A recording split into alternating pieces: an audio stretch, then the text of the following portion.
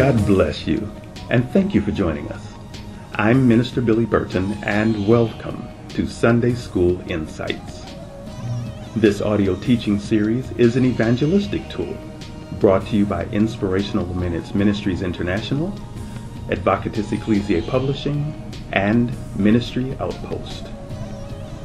We hope and pray that these lessons will reach those who, for whatever the reason, either can't or won't come to a Bible study, a Sunday school class, or a traditional church service. Subscribe to our channel here on YouTube and then follow us on Facebook where you can read your Bible lessons faithfully each week. Our Facebook link is conveniently posted below. Our background music, Worlds Away, is provided by the artistic genius of Jay Man at www.ourmusicbox.com. Again, we thank you for joining us, and Sunday School Insights begins now.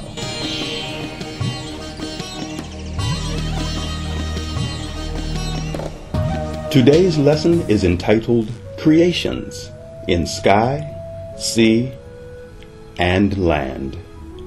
Our scriptures are found in the book of Genesis, chapter 1, verses 14 through 25. This week's lesson starts by taking us into the fourth day of creation. Within the first three days of creation, we have seen that God, as the one and only creator, has established laws like gravity and time, boundaries such as how far the waters can come inland, order, so that the living things of creation will know their place, and systems, allowing continued life and existence of living things by reproduction through seed, time, and harvest. God spoke what he had in mind and had already thought its purpose through before letting his creative artistic power come forth. Now, the fourth and fifth days of creation demand our undivided attention. Why? Because it is within these days that God stacks or multiplies his creative process. The things that he created on days 1 through 3 will now be used to assist the things created on days 4 and 5. Creatures are now created with the seed system built in so that they, too, can reproduce more of their own kind.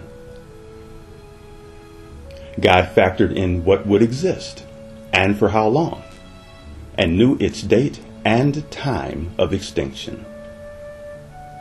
Genesis 1 and 22 says, And God blessed them. God did not use these words during the first three days of creation. The heavens, or the earth's atmosphere as we call it, the waters and the grass and herbs, didn't need that particular gift of God's Spirit. They were created by the Holy Spirit in a way that enabled them to get what they required from the greater and lesser light and that which came before them. When God blesses someone or something, as the word is used here, he has given that animal or being a supernatural anointing to do what he commanded it to do. That gift is a special empowerment that allows a flesh and blood creature to be fruitful or to be productive, as well as to give birth for the words say, Be fruitful and multiply. These are two different things. In Genesis 1 and 14, when God says, Let them be for signs, and for seasons, and for days, and years, he is not just talking about winter, spring, summer, and fall. God is also talking about being aware of Sabbaths warnings of coming events, and signaling that the changes of ages and dispensations will occur, and that these would be a way to note that the birth of Jesus the Christ is at hand. Leave us a comment if you've learned anything from this week's lesson that has helped you. We ask that you follow us on Facebook and subscribe to our YouTube channel. Come back and join us here again next week, God willing, for another lesson of Sunday School Insights. Our background music, You on My Mind, was composed and performed by Jay Man at www.ourmusicbox.com. God bless you.